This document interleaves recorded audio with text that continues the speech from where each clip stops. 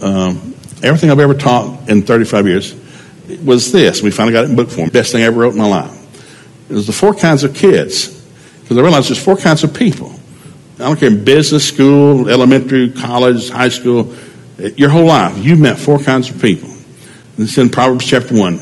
There's four kinds of people in the Bible. There are wise people, there are simple minded people, there are foolish people, and there are scornful people. And I got all the scriptures in this book. It's just loaded.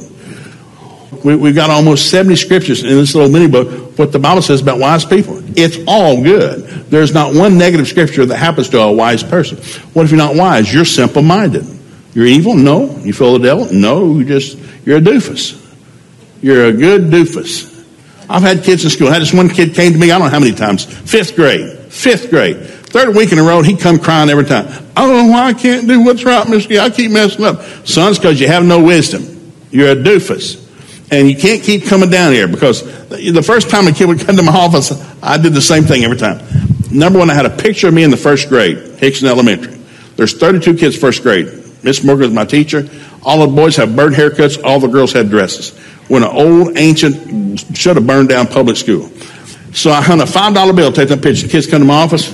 They come in and say, what's that? If you can pick me out that picture, I'll give you that $5 bill.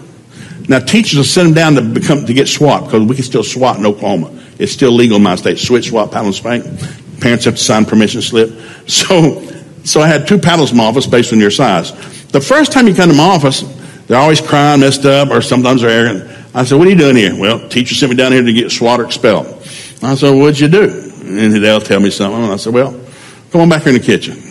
And so what? Come in the kitchen. So in the kitchen, I, I ordered donuts every morning. My, my staff loved donuts. I had a big old staff.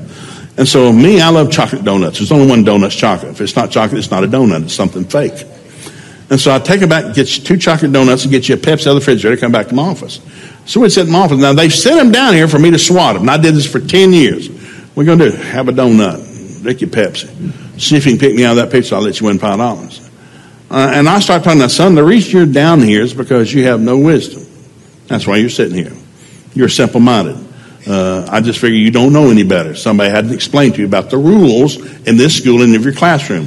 So I'm sure the teacher. So I'm going to I'm to give you the second set of rules. Here they are. They're on the wall down there in your classroom because I'm the principal. I know what's down there. I need you to do this and not do this. Are we good? And we'll eat the donuts. We'll tell some jokes. We'll guess the five dollar bill. I'll hug his neck, send him back to class.